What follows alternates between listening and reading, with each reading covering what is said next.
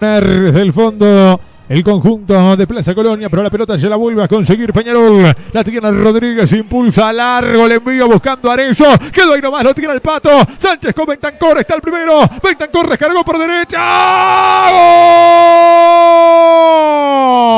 ¡Gol! ¡Gol! Sarabia. ¡Gol!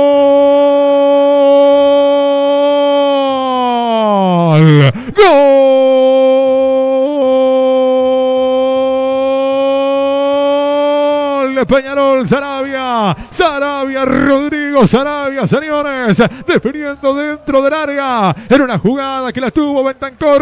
La tuvo Sánchez. Le terminó quedando a Sarabia. Que definió sobre el sector derecho vestido como puntero. Pasa a ganar Peñarol en el centenario. Uno para el Carbonero. Cero para Plaza. Quiere empezar a perfilarse en la apertura el equipo de área. Estás escuchando fútbol multimedia. Una buena pelota de Valentín Rodríguez que lo buscaba a, Matías Arezo justamente en largo, el que rechaza mal. Hay un cierre defectuoso ahí de Nicolás Olivera que deja la pelota bollando de frente. El Pato Sánchez se la da al juvenil y este con una frialdad como pocos. Ahí no pecó de egoísta. Lo vio venir a su compañero por el sector derecho. Abrió bien eh, la pelota de Rodrigo Sarabia. Define de buena manera. Abre el marcador Peñarol. Y ahora sí, Peñarol pudo eh, plasmar la supremacía que tenía en la cancha en lo que es el con una gran jugada colectiva. Arezo corrige el primer error tocado para el Pato Sánchez y después obviamente hay que darle a Bentancor eh, el aplauso por cómo abre para su compañero Sarabia que remata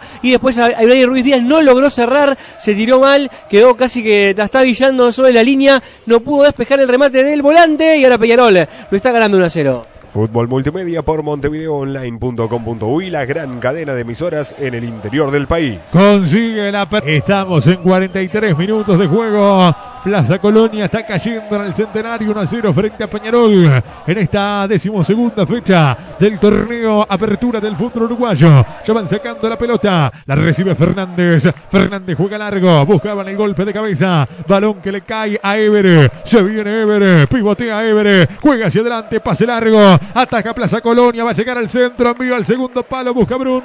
Quedó largo. Va Goyeni. Engancha Goyeni. Penal. Penal. Penal para Plaza Colonia. Penal para Plaza Colonia. Dice Ostojic. Cayó Goyeni dentro del área. Fue a enganchar el número 13. Lo derribaron. Y hay penal para el equipo coroniense. Cuando mejor jugaba Peñarol. Cuando tenía cerca el segundo. Ostojic sanciona penal para Plaza. Sí, Nico, primero hay que destacar lo mal parado que queda Peñarol en esa jugada, un equipo carbonero que va ganando, que debería tener mejor parado lo que es su mediocampo, falló en los relevos, quedó con un 3 contra 2 a favor Plaza Colonia que manejó muy bien la contra y ahí eh, llegó Goyeni por el eh, segundo palo con la marca de Kevin Méndez, para mí está bien cobrado, para mí es penal. Para una sonrisa perfecta te esperamos en Rol Dental, la República Argentina y Genotasio, kilómetro 23 en Solimar. Atento a nuestras promociones en Instagram, arroba Rol Dental. Bueno, hay que ver si interviene el VAR o no. La está pidiendo allí que la vean.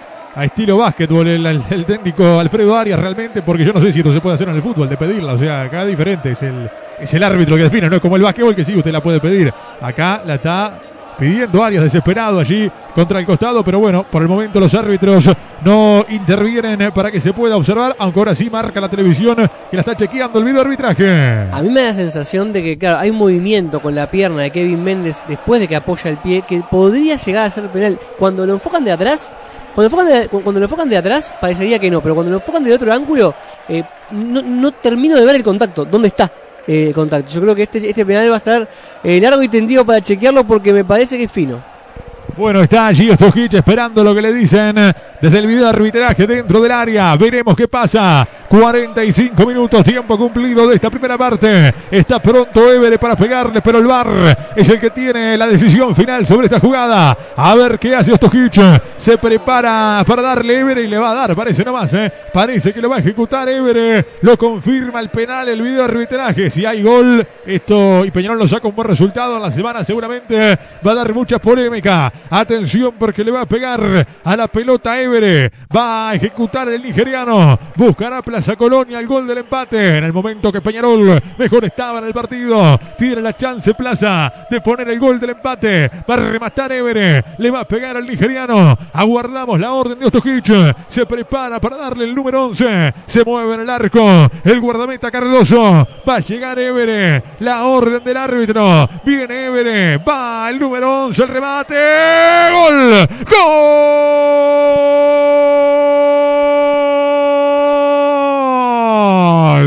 Gol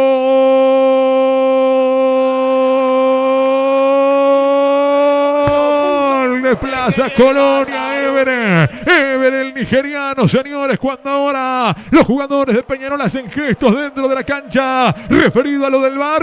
Lo cierto que poco le importa al nigeriano que pone el empate. Lo iguala Plaza. Balón a la izquierda, Cardoso a la derecha. Uno a uno el partido en el centenario. Estás escuchando fútbol multimedia. Muy bien pateado por el nigeriano Evere. Pelota para un lado, arquero para el otro. Hace un pequeño eh, freno en la carrera que eso claramente desorienta a Tiago Cardoso que se vuelca antes incluso que llegara el, eh, jugador a ejecutar el remate empata Plaza Colonia no hay merecimientos acá simplemente hay justicia porque fue penal y lo convirtió de muy buena manera el nigeriano Evere El resultado no refleja lo que viene siendo por ahora el trámite del partido, sin embargo, Evere poco le importó. Thiago Cardoso se jugó mucho antes. El freno del nigeriano lo terminó dejando en evidencia y el nigeriano bastante al uruguayo. Festejaba diciendo vamos, porque ahora sí el encuentro se puso uno a uno. Fútbol multimedia por montevideoonline.com.uy, la gran cadena de emisoras en el interior del país. Señoras,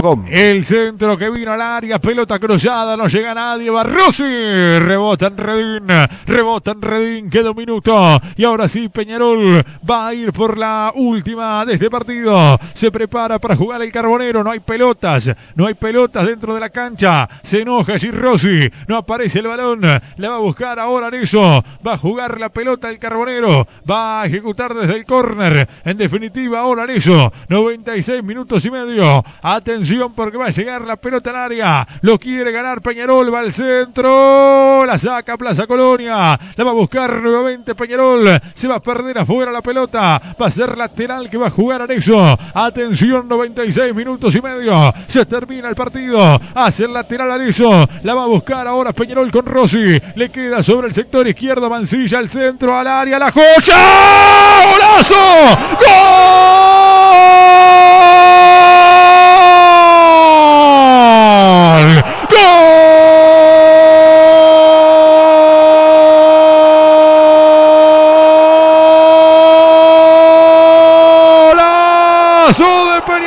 Hernández, la joya Hernández, señores, un golazo espectacular, formidable, inolvidable para el hincha de Peñarol, una chilena dentro del área, la pirueta, la maniobra de Hernández, que venía de hacer goles en partidos anteriores y que ahora se empieza a ganar al hincha de Peñarol, golazo de Hernández, un gol inolvidable en la hora, realmente espectacular para que Peñarol siga con ventaja en la tabla, para que sueñe con la apertura. No le salía nada al carbonero y apareció la joya con un gol que puede valer un campeonato. Estás escuchando fútbol multimedia.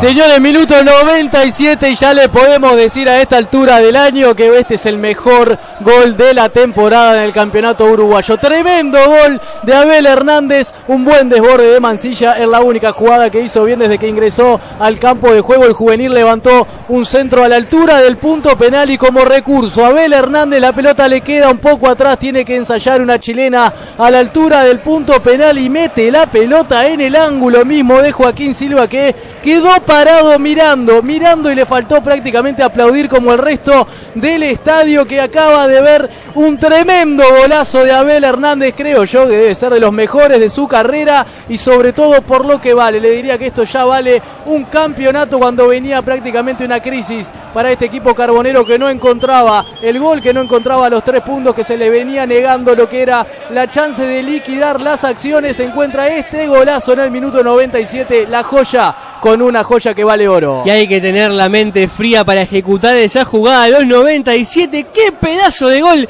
Se mandó a Ben Hernández una pirueta espectacular. Impactó de lleno la pelota, entró en el ángulo. Pero qué pedazo de gol que hizo la joya, sin lugar a dudas.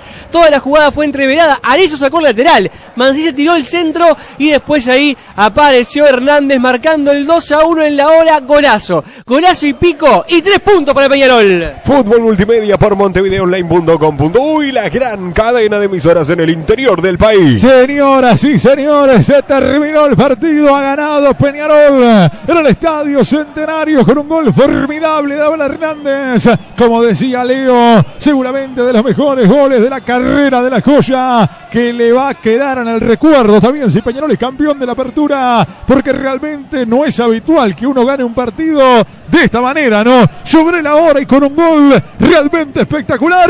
Lo ha ganado Peñarol. 2 a 1 el carrebonero. Mantiene la diferencia en la punta. Se perfila para ganar el torneo apertura.